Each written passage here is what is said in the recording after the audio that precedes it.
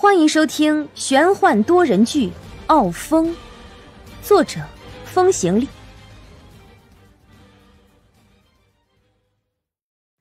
第九百九十四集。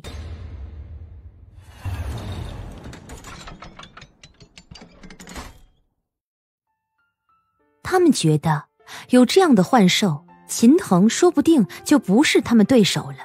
最后的排位赛上，一定要他好看。秦卫和秦腾现在的分数也上来了，其中秦卫对炼制幻器也挺在行，虽然没有本命真火，却有灵魂之水，加上上古幻师的炼器秘术，冰火萃取之下，他竟然也能炼出神帝气。这样一来，秦卫的得分也显得可怕了：九重天基础分十分，捕猎君王九分。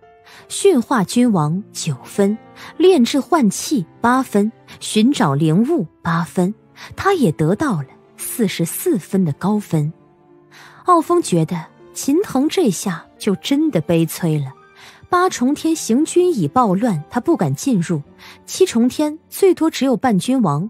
如果秦卫最后的个人实力赛发挥正常的话，他恐怕连第二都得不到。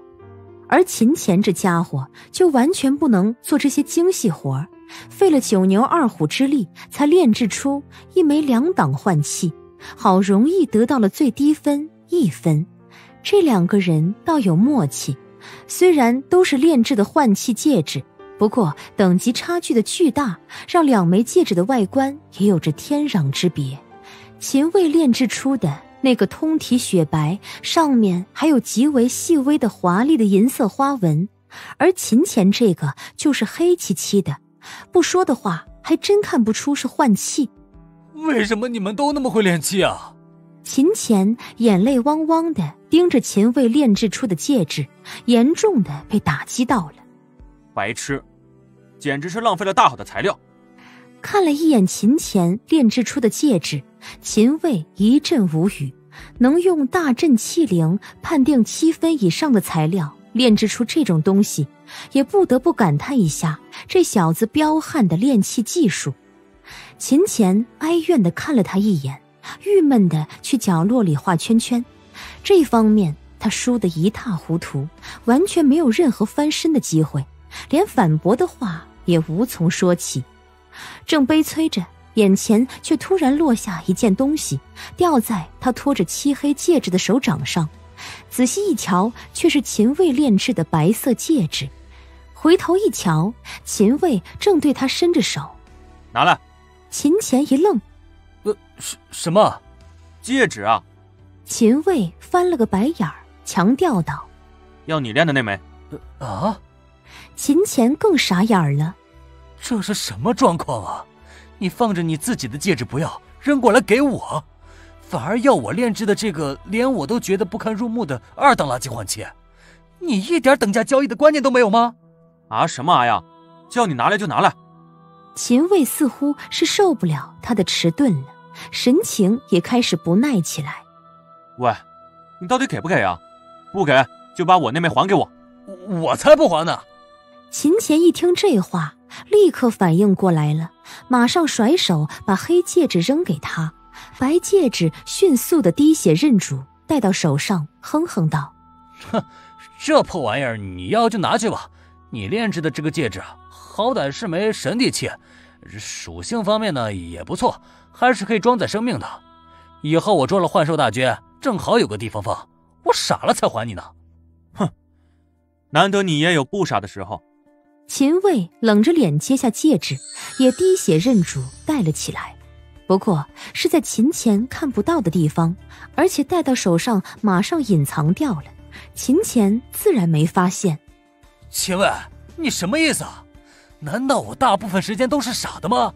你再说一次试试看。白痴，我再说一百次又怎样？傲风笑看着这对活宝，有他们在，这一路真是一点儿也不无聊。不过下面的路途恐怕暂时要和他们别过了。眼神凝重的看向上空不远的一座岛屿，他已经清楚的感觉到了一股雄浑霸道的气势，大君王级魔兽。接下来我要去捕捉大君王级魔兽了。完了之后，我可能会直接到九重天的最高处看看，那个地方你们去不了，就在这里等着小队试炼结束吧。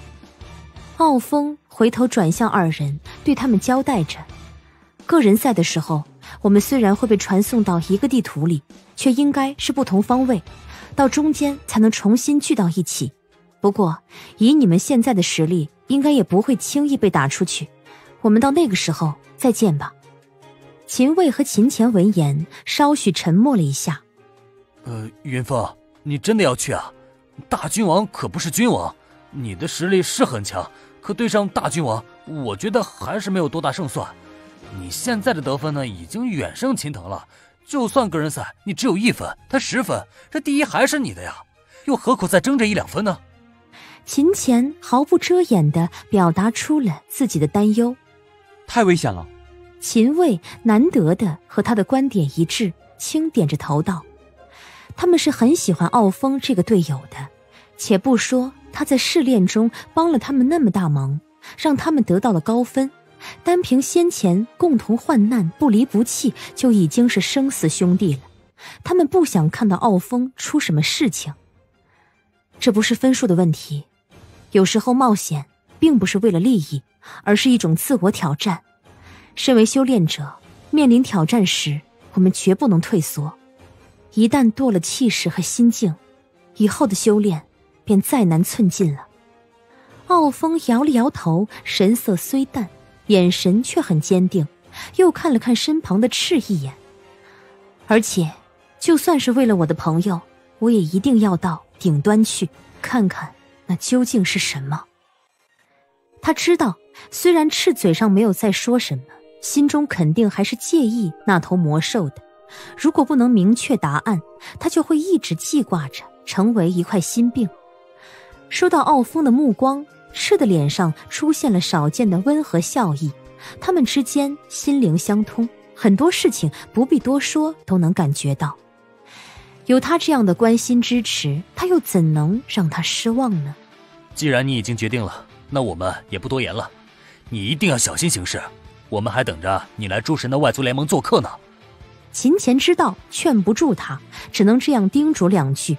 秦卫思索一下，也提醒傲风道：“试炼还剩最后两天，如果云峰你真的要去最顶端看一看，那就最后的时刻上去。等试炼时间一到，你就会被直接传送出九重天。就算上面有什么可怕的东西，也无法伤害到你。”傲风不由得眼睛一亮。秦卫的方法的确不错，最上面那个大家伙，以他现在的实力，肯定是无法抗衡的。他已经猜测到，历代幻神之所以始终不能解开大阵的秘密，恐怕就是因为他。他的目的也只是上去看一眼，解开赤心中的困惑，并非真的想要现在就去打败他，那无异于以卵击石。放心吧，我会的。傲风点了点头，那我就走了。一路保重。秦前和秦卫向他挥手，他们明白自己上去也是拖累傲风，干脆的留在了原地。道别了秦卫二人，傲风便向上方飞行，感觉也越发的清晰。上面的一个岛屿里盘踞的，绝对是大君王级的魔兽。